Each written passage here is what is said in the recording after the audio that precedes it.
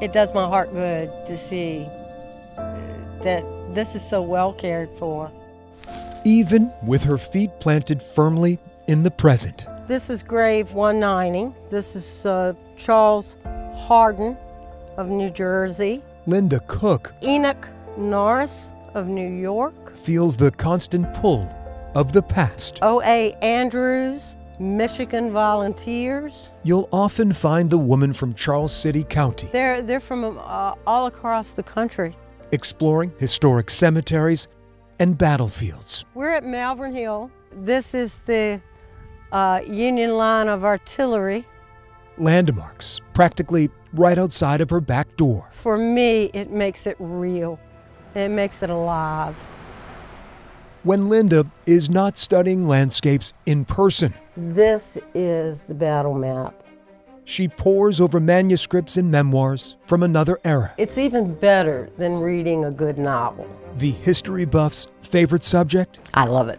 I absolutely love it. Civil War clashes, which raged near her home. Battle cry of freedom, various research materials. The professional title examiner possesses a detective's knack for discovering the smallest of details. This is where you get the side stories the human life stories. Recently, while researching the 1864 Battle of Jones Bridge, it was right here, right here on the ground we're walking on. Linda uncovers a mistake that for decades haunted a family from the Midwest. The battles were intense, the casualties were just unbelievable.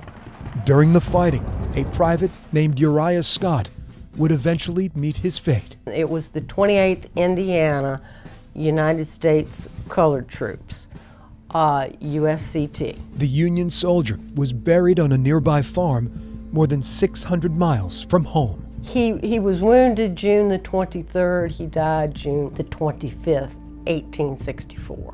Uriah was just 16 years of age. It just pulls at your heartstrings that somebody that young was involved in that conflict and gave his life.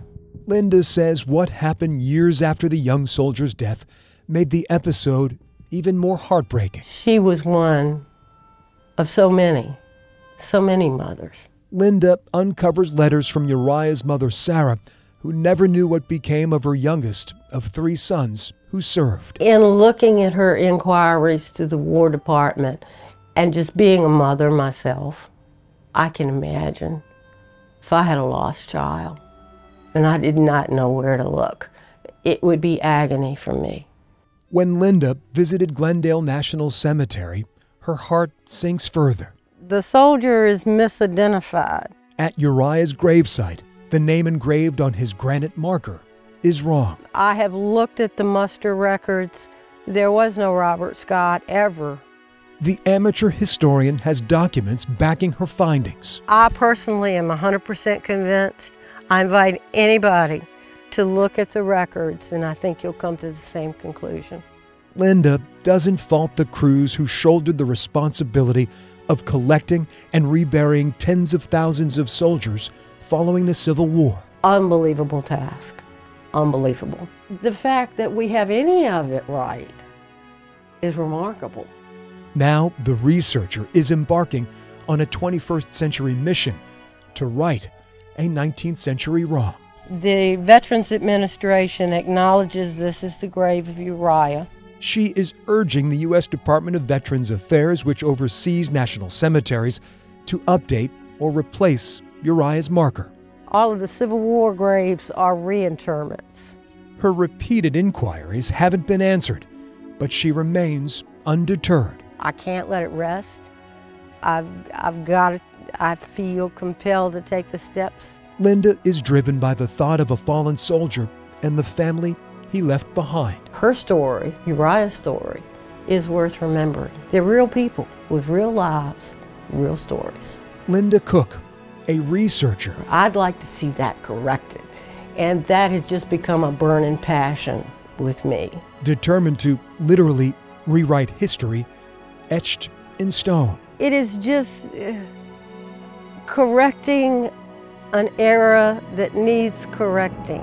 All in the name of a soldier who will forever be 16 years old. I think it's a, it's a small thing that we could do to acknowledge all that he gave at such a young age. For I Have a Story. As long as it takes.